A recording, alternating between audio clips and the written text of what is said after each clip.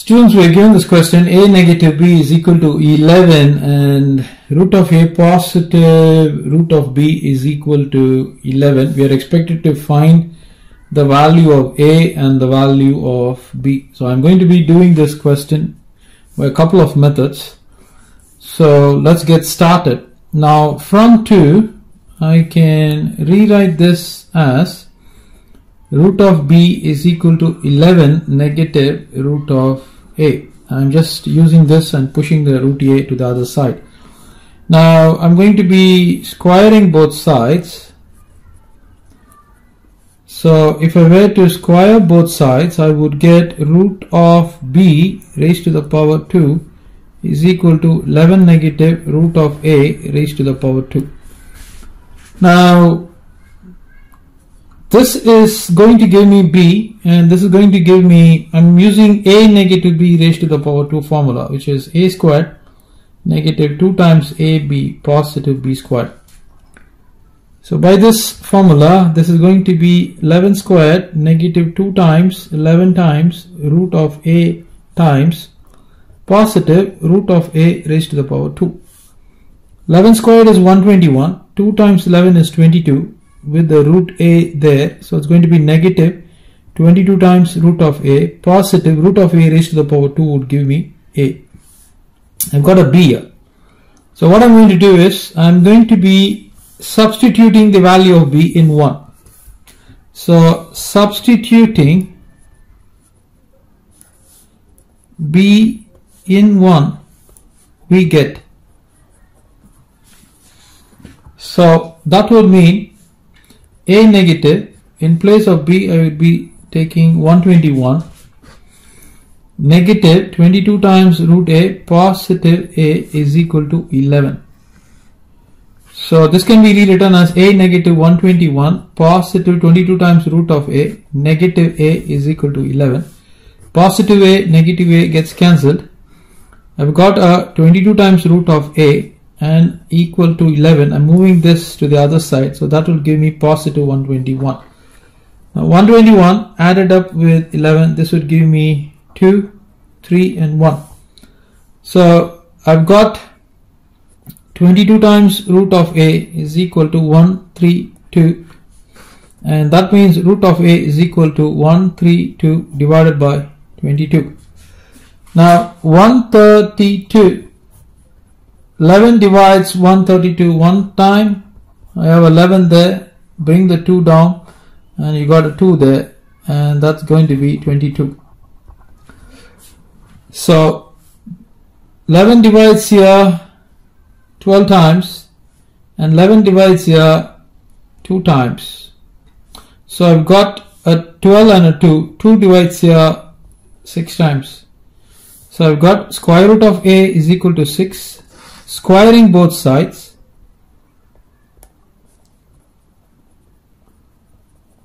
We get so what do we get? We get root of a raised to the power 2 is equal to 6 squared this is going to give me a is equal to 36 now a is equal to 36 substitute this substituting in 1 so what happens when you substitute in 1? This is going to give me 36 negative b is equal to 11. I move 36 to the other end. I get negative b is equal to 11 negative 36. So you have a 36 and you take away from 36 11. So this is going to give me 5 and a 2. Of course there's a negative sign there. So you have to place the negative sign. So negative b is equal to negative 25. So this would mean the value of b is 25. So this is the result value of a and value of b. So this is by one way. I'm going to approach the same question in another manner. Students this is the second way you can solve this question.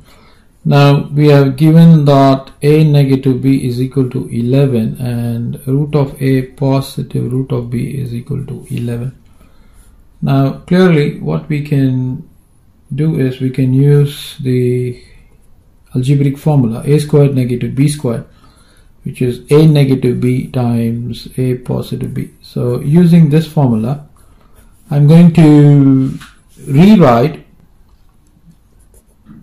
root of a as in fact let me just show you this. Root of a negative root of b multiplied with root of a positive root of b.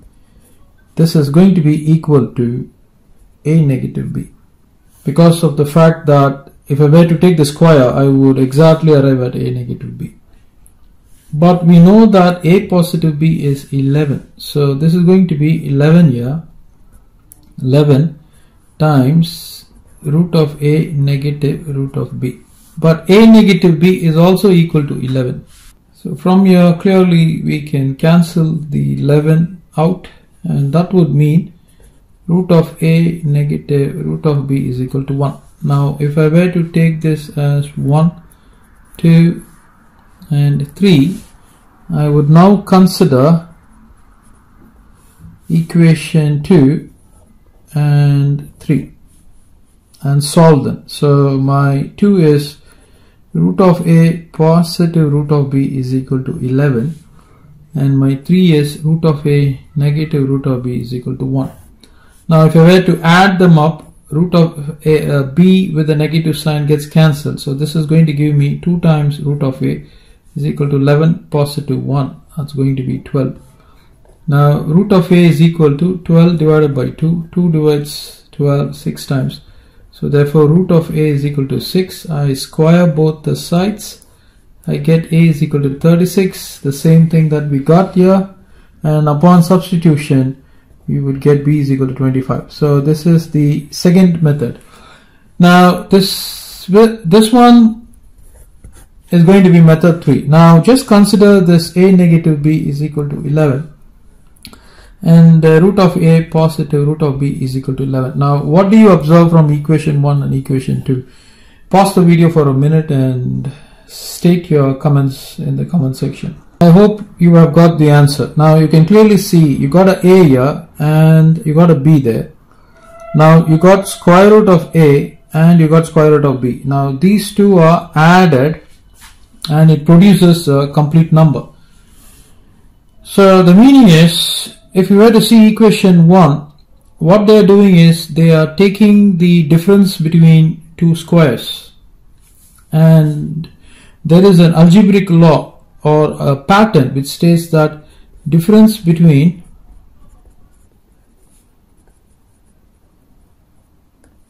successive squares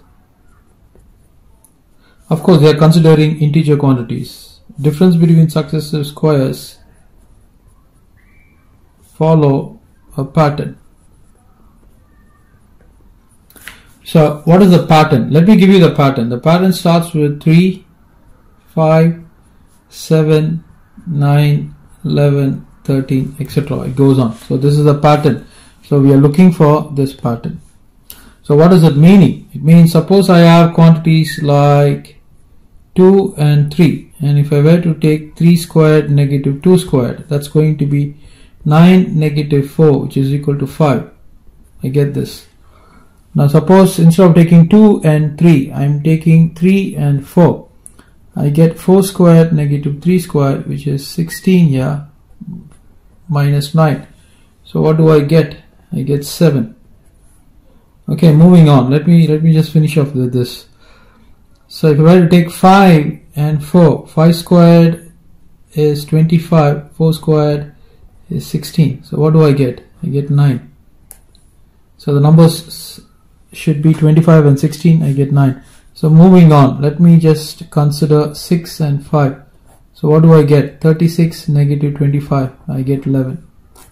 So that is what we are looking for. So 11 is the difference. So for sure, if I were to take the square of 36 and add it with square of 25 I would get 11 so 6 positive 5 and you can look for this pattern so for this you don't need any calculations. You can directly observe these two systems and then connect them to the pattern and produce the values as 36 and 25 so that is the solution